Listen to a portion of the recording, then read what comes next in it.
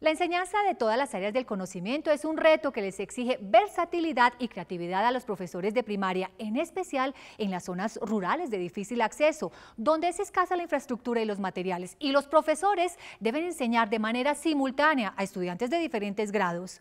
Para enfrentar este problema, el Ministerio de Educación impulsa la creación de comunidades de aprendizaje, una herramienta importante que busca que los docentes se ayuden entre sí y logren que sus estudiantes desarrollen competencias básicas. Escuela Colombia encontró una de estas experiencias en el municipio de Nueva Lucía, en Córdoba, donde estas comunidades de aprendizaje están dando grandes resultados. Vamos a conocerla.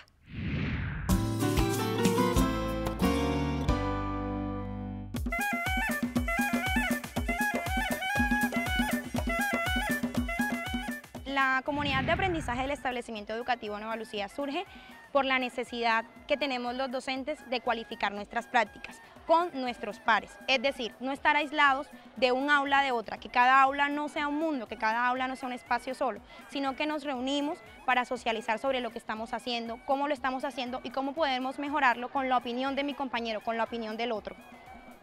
Una secuencia didáctica yo le había dicho que es un conjunto de actividades que tienen un propósito y un fin último, en este caso desarrollar competencias y además tienen un producto. Trabajamos el desarrollo de la clase paso a paso, es decir, cualquier persona que no sea docente de lenguaje, que no sea docente de matemática, sabe lo que tiene que hacer con una, con una secuencia didáctica, cuando la lee, porque paso a paso, primero el docente hace esto, luego esto, y todo enfocado desde que, desde que el estudiante desarrolla la actividad. Lo que se busca es que el centro, el, motor de la clase sea el estudiante. Ellos son los que van a desarrollar las actividades, ellos son los que van a trabajar. Nosotros somos una guía en ese proceso.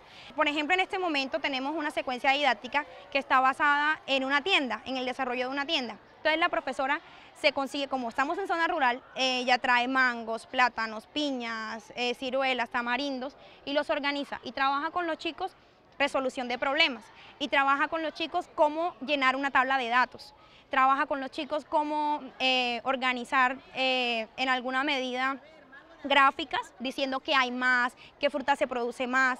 Entonces los chicos los emociona. Ellos están jugando a la tienda, pero a la vez están aprendiendo.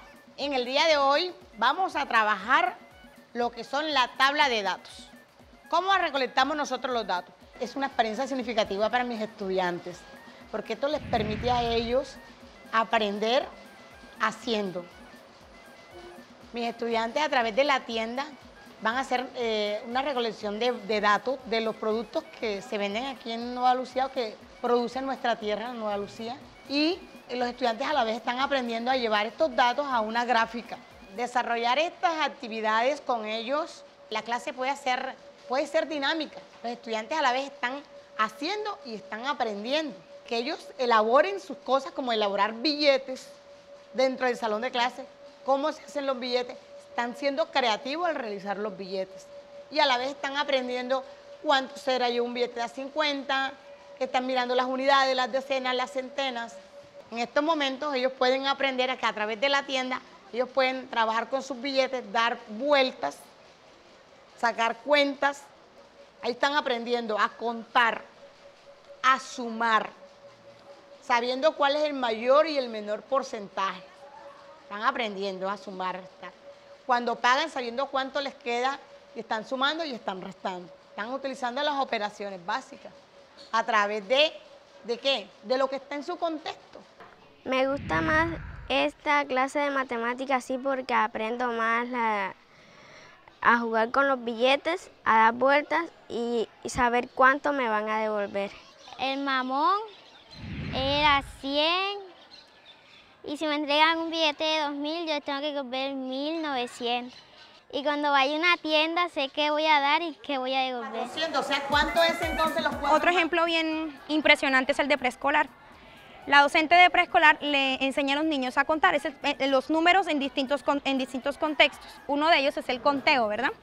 Entonces los niños aprenden a contar con el avión y entonces ellos, ellos cantan la canción de los números del 1 hasta el, del 1 hasta el 9, lo cantan de diferente manera, lo cantan en ranchera, lo cantan en, champeta, lo cantan en vallenato, lo cantan en reggaetón, hasta que todos pasan y hacen la, hacen la cuenta. Entonces la misma canción los va llevando a usar el número en otros contextos. El 8 son las gafitas, las que usa don Ramón. El 9 es un globito atado en un cordón. Bueno, yo Mezclo la música y en diferentes ritmos, utilizando los ritmos de acá de la región, ya que los niños es mucho más fácil aprenderse una canción con la música, aprenden eh, los contenidos de los programas. Entonces por eso utilizo la música porque siento que es mucho más fácil ellos captan mucho más rápido el concepto. Mezclar la música y la lúdica son muy importantes en esta edad, ya que el niño aprende con mucha más rapidez, adquiere muchas más habilidades y es más grato, más divertido para él aprenderlo, aprenderlo con canciones y así va a ser mucho más rápido el aprendizaje y mucho más veraz.